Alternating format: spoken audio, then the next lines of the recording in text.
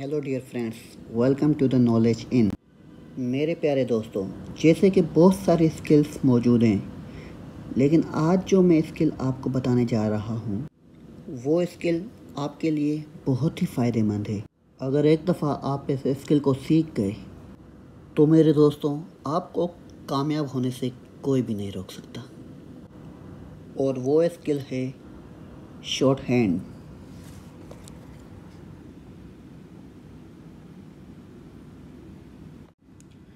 मेरे दोस्तों, आपने ये स्किल शायद सुनी हो, कहीं देखी हो, लेकिन आपको इस स्किल का इलम ना हो। वो स्किल है जो एक दफ़ा अगर आपको आ गई तो आप अपने फ्यूचर को बेटर बना सकते हैं, फ्यूचर में कामयाब हो सकते हैं, आपकी लाइफ बेटर हो सकती है।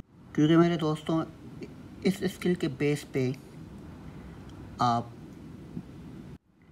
B P S fourteen B P S sixteen even B P S seventeen की जॉब भी हासिल कर सकते हैं, वो भी गवर्नमेंट सेक्टर में।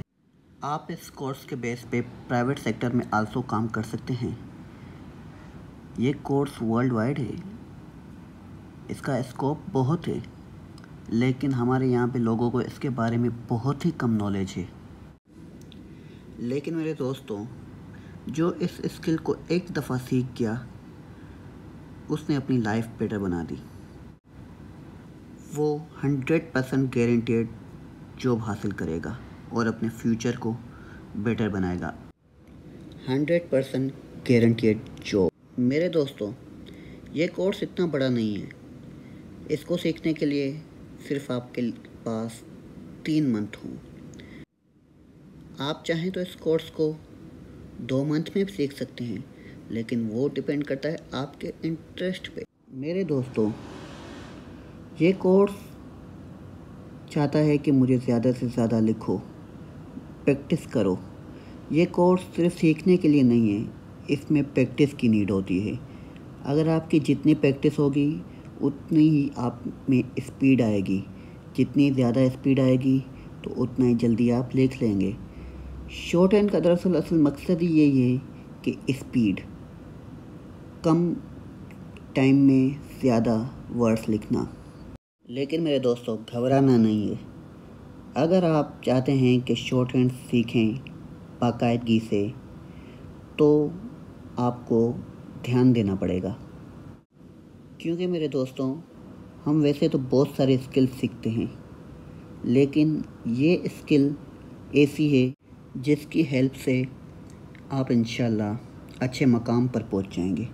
मेरे दोस्तों शॉर्ट एंड के लिए आपको ज़्यादा चीज़ों की ज़रूरत ही नहीं है। बस आपको एक बुक लेना है शॉर्ट एंड का न्यू कोर्स पिटमैन के नाम से। आपको एक नोटबुक लेना है, जिसमें आप डिक्टेशन नोट करें और एक पेंसिल लेनी है। मेरे प्यारे दोस्तों तो ये थी शॉर्ट हैंड की इंफॉर्मेशन मेरे दोस्तों, अगर आप चाहते हैं कि मैं आपको शॉर्ट हैंड की सारी गाइडलाइन दूँ, उसका वे बताऊँ, सारा कोर्स आपके सामने लेकर आऊँ, क्योंकि मेरे पास बहुत सारी चीज़ें हैं। शॉर्ट हैंड की गाइड्स हैं, उनके बुक्स हैं, मैं आपको हर एक एक सेंटेंस लिख कर बताऊँगा वर्ड लिख कर बताऊँ, बताऊँगा।